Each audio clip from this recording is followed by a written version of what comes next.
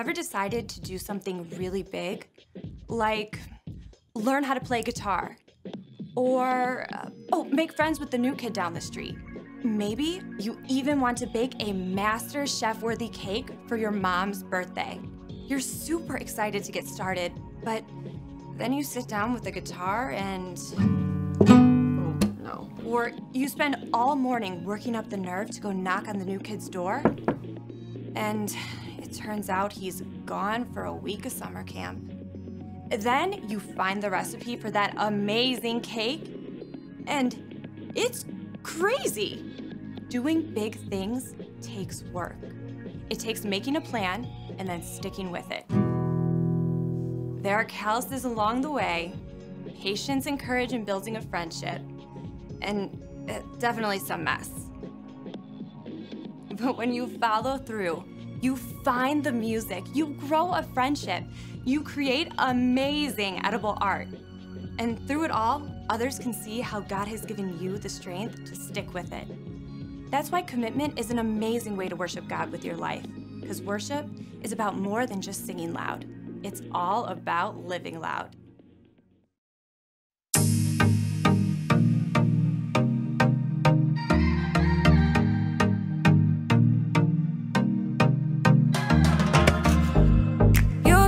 For me good. You hold my future. You're working all the time. You're the mountain mover. From sunrise to sunset till the sun comes back up again. You're by my side.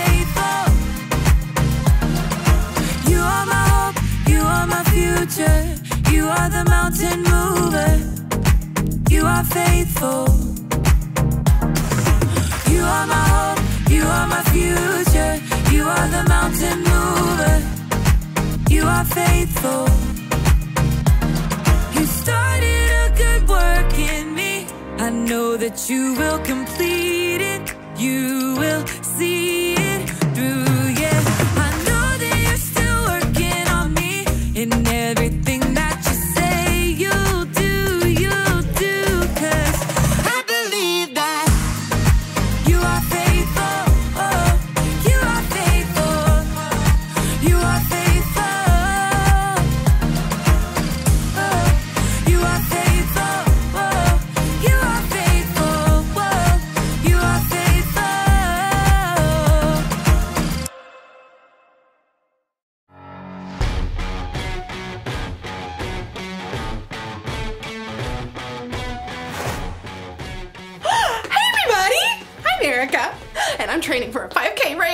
As you can see, I've been training all day, so as my grandma would say, I'm a little glowy. If you've ever run a 5K, you know it takes a lot more than popping off a couch and putting your running shoes on, okay? It takes commitment. Commitment is making a plan and putting it into practice. And my plan is not just running around a lot. I mean, I've got to train and what I'm calling the three S's speed, strength, smarts. So there's running, yes, but I'm also working on my strength and Running takes a lot out of you. I just can't take it. Woo! It's so tired. Your body's gonna want to give up. Ow. But I'm going to train my brain to keep running the race no matter what. Like right now, my body is telling me not to eat this kale because it looks gross. But my brain tells me that kale is good for giving my body energy. So, here goes. Come on, brain! Eat! I can't do it! I can't do it!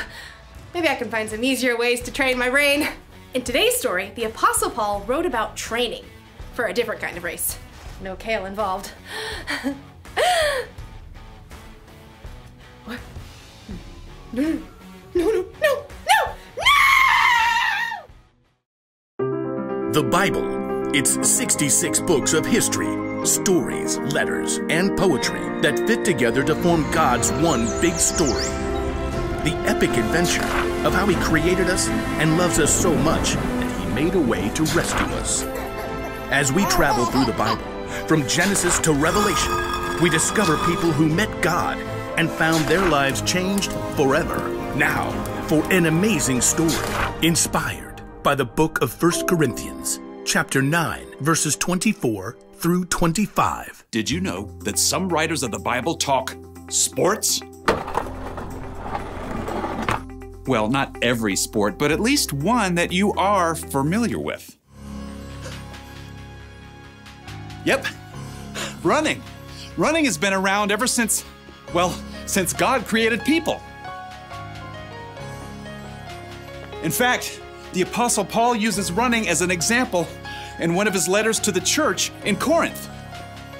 In a race, all the runners run, but only one gets the prize. You know that, don't you? So run in a way that will get you the prize. Now, Paul is talking about more here than just running, but first you have to understand what it takes to run a long race. Let's say you want to run a marathon. That's 26.2 miles. There's no way you can just hop up off the sofa where you've been playing video games for months and run that far. So, you need a plan. When I was preparing for my first marathon, I found this plan. I started training more than four months ahead of the race, and I started with just a few miles at a time. Once you've got a plan, well, then you gotta move. That means short runs, long runs, and cross training to work other muscles and prevent injury.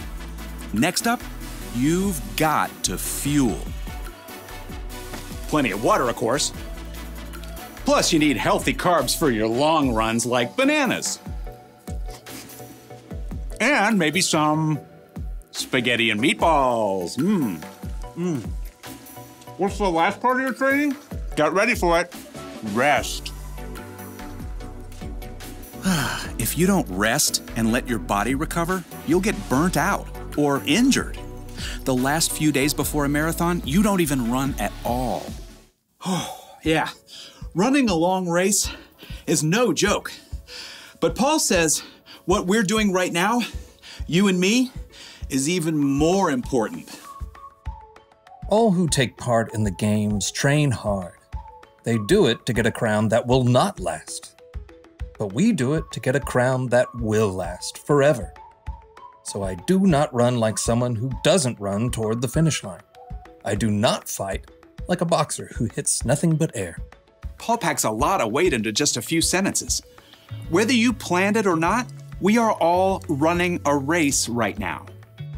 Okay, so that's a little crazy. Clearly, I'm standing here talking to you, and you aren't outside running laps either. But Paula is talking about a way of life, a journey. We're all focused on the finish line, life forever with Jesus, but in the meantime, every step along the way is important as we live out what matters most. Jesus reminded his followers Love the Lord your God with all your heart and with all your soul. Love him with all your mind. Love your neighbor as you love yourself. Yep, love God, love others. That's what matters on this journey together. But just like you can't skip from jogging one lap around the school gym to running a 26.2 mile race, you're gonna need some practice. Your Love God, Love Others marathon needs a training plan. Now, none of us have it all figured out, but here are four important things to start with. In fact, you may already be doing some of them. First point hear. God is the master teller of this amazing story. He's the author of this whole race, so the most important thing is learning to hear from God. That means digging into God's Word and hearing the stories and wisdom from people who walked with Him. You can also hear from God from people around you in your life who know and follow Him. Now, here's the second step in training for our Love God, Love Others marathon pray. Okay, when you hear pray, you might think, In nomine Patris et Filii et Spiritus Sancti. Truth is, you don't need fancy words to pray. You can talk to God anytime, anywhere, about anything, just like talking to your mom or your best friend. Now let's take a look at point three in our training plan talk. Hello out there! Tell other people what God has been up to in your life, what's changing, how you're learning to love others better. And here's the final point in your Love God, Love Others training plan live. Live for God. Let His love fill up every part of your life at home, at school, at church, even when your dad makes you stop reading your book to play a game with your little sister. Hear, pray, talk, live. That's how you practice loving God and loving others. As Paul wrote, So run in a way that will get you the prize. We do it to get a crown that will last forever. and when you do, you will live out Paul's wisdom to the Corinthians and win the race.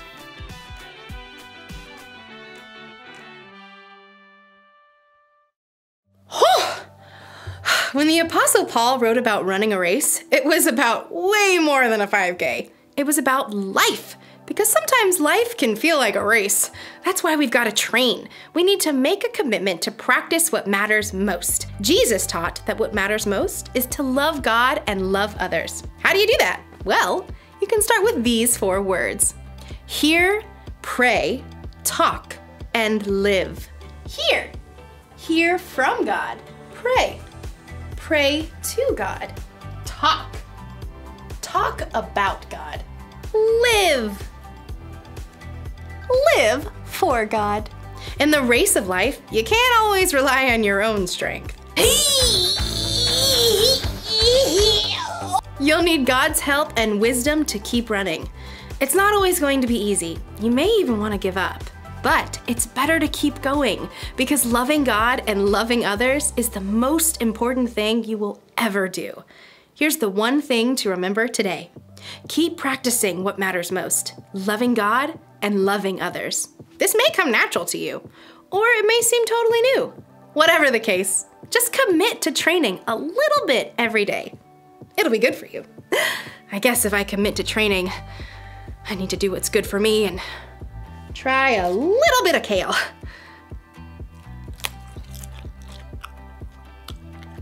Hey, that's not bad. I feel more energetic already. Oh yeah, here we go. I'm ready, and I'm a fan of kale.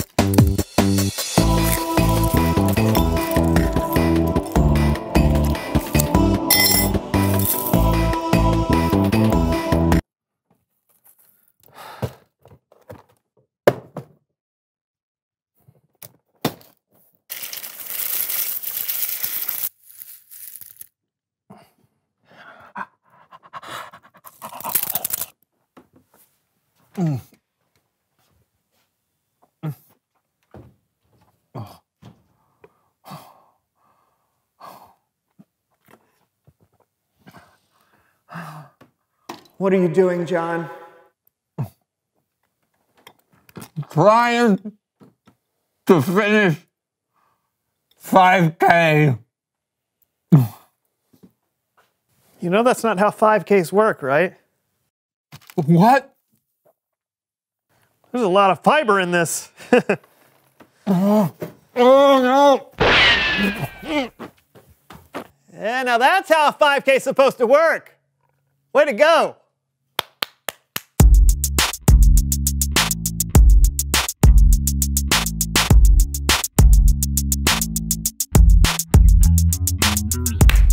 I'm John. I'm Brandon. Welcome, to, the So and So Show. Brandon and I have committed to run a 5K. Why? I'm not sure. Someone thought it was a good idea. Aha, well, when you commit to running a race, you need to make a plan on how to get yourself ready and stick to that plan. Mm-hmm. I wanted to do one of those training apps that you can get on your phone. There's there's one called Couch to 5K that mm-hmm. looks really good. But then John said, I said we couldn't do that. No app is going to prepare us for the ups and downs, the peaks and valleys, or the ebbs and flows of running a race. Have you ever actually run a race? No, but that's that's beside the point. Racing is like life.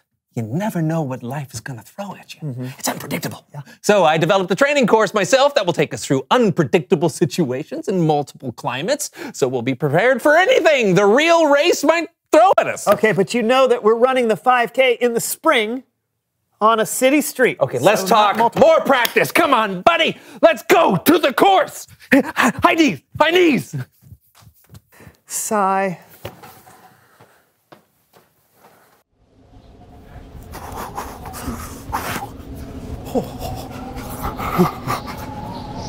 Okay, why, why are we doing this? There's no way we're going to be running in the snow, right? Because you have to be prepared, Brandon. When you commit to something, you have to be ready for any outcome. And we have had some late spring snowstorms. When? You know, in the spring of 1978. It is not going to snow, John. You can't predict the weather, Brandon. And switch. Oh, oh! now we're in the desert? This will never happen. What? We, we, we can make a wrong turn in a race and end up in the desert? Oh, flying cactus! Ah! Oh, oh, oh, oh, and switch! Oh! Seriously, John! This is getting out of hand! Practice! Wow! Makes! Whoa! Perfect! Whoa! And switch! Oh. oh, okay. All right, this is more like it. This is what we should be training for. Wait for it. I want my two dollars. Ow! What was that? it's a paper boy. He's ruthless. Oh, heads up! What? Ow! Can we stop now, please? I think we're prepared. Two dollars. Oh. I don't think you're that prepared. oh! It's Bible story time with Kellen. Oh. Look out! Whoa!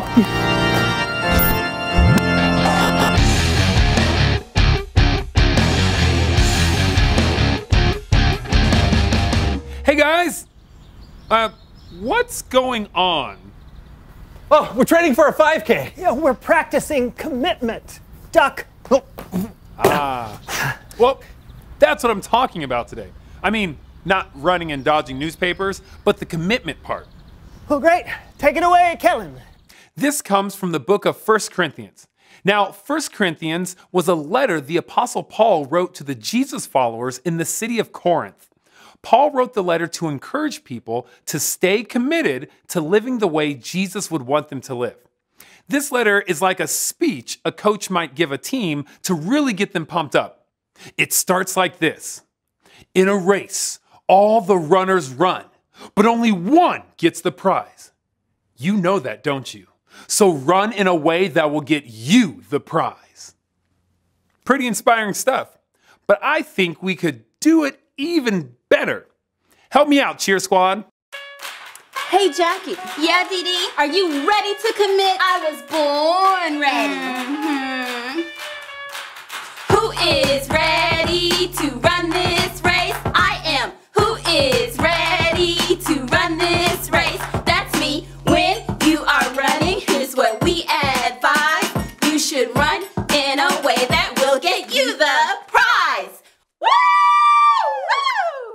awesome.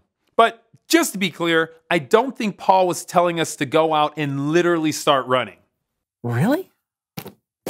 Really? Really.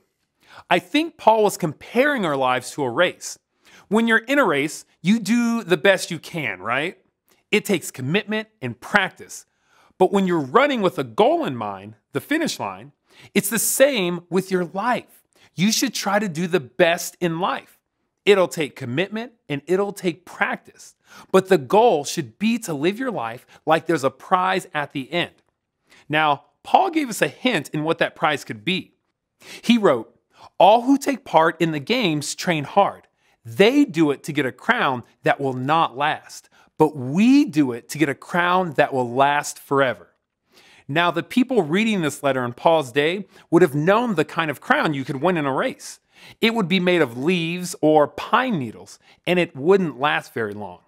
But Paul wrote that Jesus followers should be running for a crown that will last forever. Take it, Cheer Squad. Yo,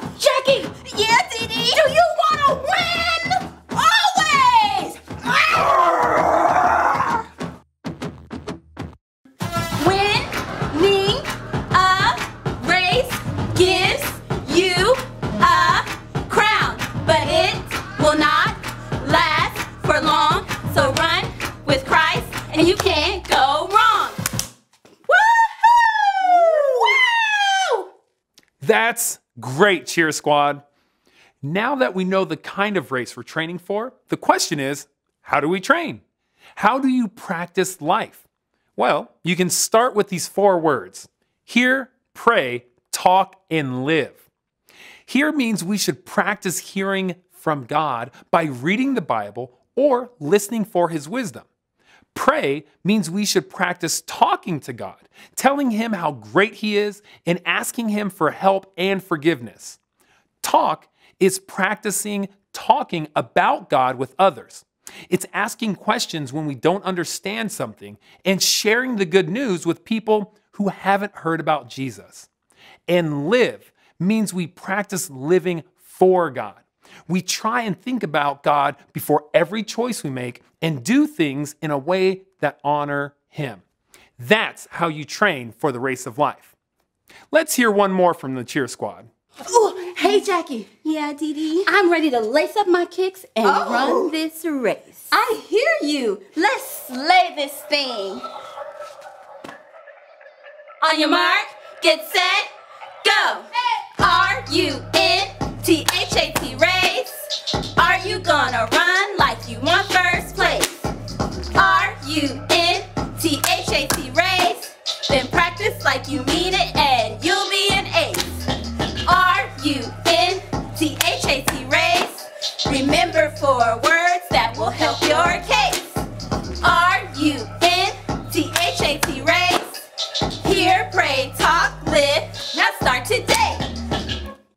Thanks, cheer squad. Yeah, that was great. Yeah, I think I'm ready to run the 5K now. I think I'm ready for anything now. Two dollars! Oh, see?